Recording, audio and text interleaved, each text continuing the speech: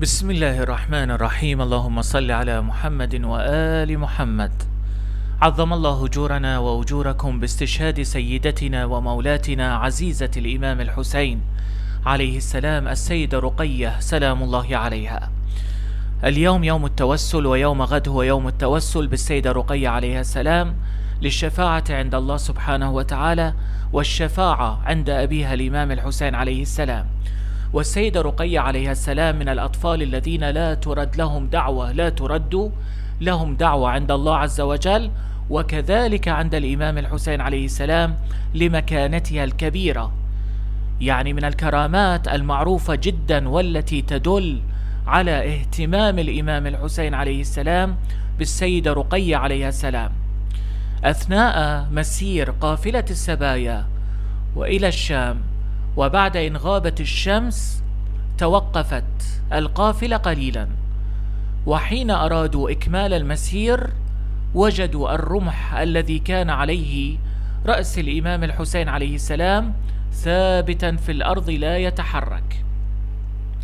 رغم محاولات حامله أن يحركه أو أن ينتزعه فلم يستطع. فاستعان بمن كان معه من الرجال فلم يفلحوا. فلجأوا إلى الإمام السجاد عليه السلام سائلين عن ماذا حدث ماذا جرى لماذا الرمح ثابت في الأرض لا يتحرك. الإمام السجاد عليه السلام قال لعمته السيدة زينب عليه السلام بأن تتفقد الأطفال وتتأكد من عدم فقدان أحدهم. أخذت السيدة زينب عليه السلام تتفقد الأطفال واحدا واحدا. فاكتشفت فقدان السيدة رقية عليها السلام.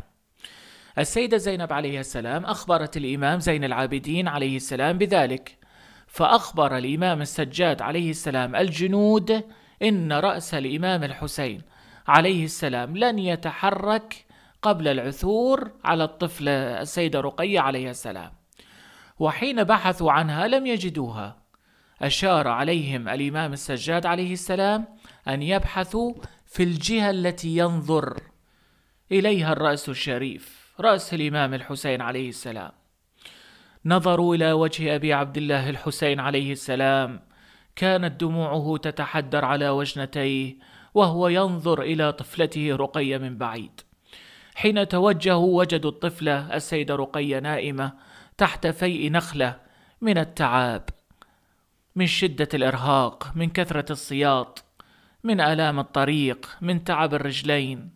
على كل الأحوال فعندما جاءها أحد الجنود أيقظها برفسة من رجله ثم ثم ضربها بصوته. وبعد إن عاد بها احتضنتها السيدة زينب عليها السلام ومسحت دموعها وعند ذلك تحرك الرمح من مكانه. هذا يدل على ماذا؟ يدل على أن الإمام الحسين عليه السلام في حياته في مماته في استشهاده عينه على السيدة رقية عليه السلام. كما أن في حياته كانت عينه دائما وابدا على السيدة رقية عليه السلام. كذلك هو بعد استشهاده عينه على السيدة رقية عليه السلام. وإلى الآن الإمام الحسين عليه السلام في مرقده الشريف وهو عينه على الشام على مرقد السيدة رقية سلام الله عليها لا يرد لها طلبا أبدا وكل من توسل بالسيدة رقية عليها السلام وصل إلى ماذا؟ وصل إلى مناه لذلك الختم الذي يقول عنه آية الله الشيخ البهائي في هذه الأيام أيام استشهاد السيدة رقية عليها السلام ونحن مقبلين على شهادتها غدا إن شاء الله تعالى. وفي كل يوم تستطيع ليس فقط في يوم الاستشهاد في كل يوم تستطيع في أي الأيام تستطيع أن تتوسل بالسيدة رقية عليها السلام إلى الإمام الحسين عليه السلام لقضاء حاجتك. والختم هو أن تصلي على محمد وآل محمد 315 مرة. تصلي على محمد كم؟ 315 مرة. اللهم صل على محمد وآل محمد وعجل فرجهم. تهدي هذه الصلوات 315 إلى روح مولاتنا السيدة رقية عليها السلام. ثم تسألها بأن تشفع لك عند الله وعند الإمام الحسين عليه السلام فيشفعان لك ويقضيان لك حاجتك خلال ليلة واحدة خلال يوم واحد. هذا ما جربه العلماء وجربه الكثير من المؤمنين والمؤمنات وأصابوا الفوز بقضاء حوائجهم. فجرب ولا تشك. عظم الله أجورنا وأجوركم. مرة أخرى باستشهاد السيدة رقية عليها السلام. كذلك ماذا نتمنى؟ نتمنى يوم غد ألا تقع عين الإمام الحسين عليه السلام. ألا تقع عين أهل البيت عليهم السلام ألا تقع عين صاحب الزمان. سلام الله عليه على بيوتنا إلا ويرى فيها آثار الحزن والبكاء والنحيب على فقد مولاتنا السيدة رقية. سلام الله عليها. نسأل الله أن يوفقنا بأن نشارك في عزاء السيدة رقية عليها السلام بأي صورة من الصور. ولو بشيء بسيط جدا ولو على مستوى العائلة ولو أننا نشتري شيئا ونطبخه لأنفسنا لبيتنا ونقول على اسم السيدة رقية سلام الله عليها. شارك لكي تكون لك يدا عند السيدة رقية عليها السلام وتجازيك عليها. لكي تكون لك يدا عند الإمام الحسين عليه السلام ويجازيك عليها. وما جزاء الإحسان إلا الإحسان. أحيوا أمرنا رحم الله من أحيا أمرنا. إذا أحييت أمر السيدة رقية عليه السلام يوم غد هي كذلك تحيي أمرك عند الله عز وجل. تحيي أمرك وجميع ما تريد عند الإمام الحسين عليه السلام.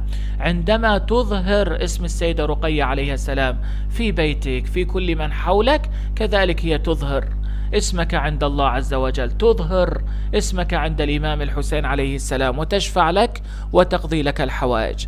فرجاء رجاء رجاء نتمنى من الجميع أن يشارك في عزاء السيدة رقية. سلام الله عليها يوم غد إن شاء الله تعالى. ولو بشيء بسيط. وكذلك إكرام البنت في البيت التي اسمها رقية. كل بيت فيه اسم رقية. حاول يوم غد بأن تكرمها تقدرها تحترمها تظهر لها الإجلال الإحترام كرامة للسيدة رقية سلام الله عليها. ولتشعر بالفخر بأن اسمها على اسم السيدة رقية سلام الله عليها. الإمام الصادق عليه السلام عندما قال لرجل آه ماذا أنجبت زوجتك؟ قال أنجبت بنتا. فقال سمها فاطمة. ولا تضربها بل اظهر لها الاحترام والتبجيل والتقدير لكي تشعر هذه البنت بالانتماء إلى فاطمة بأن فاطمة عليها السلام هي سبب احترامي هي سبب إجلالي وتقديري في قلب والدي بل في قلب أهلي. كذلك أنت وهذا كله سوف يرجع إليك بالخير في الدنيا والآخرة. إن شاء الله تعالى وترى العجائب.